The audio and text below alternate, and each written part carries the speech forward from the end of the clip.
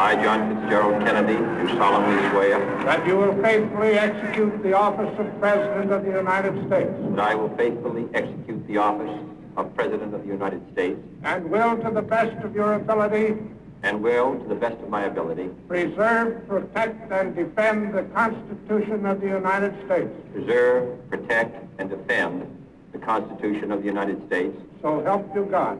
So help me God.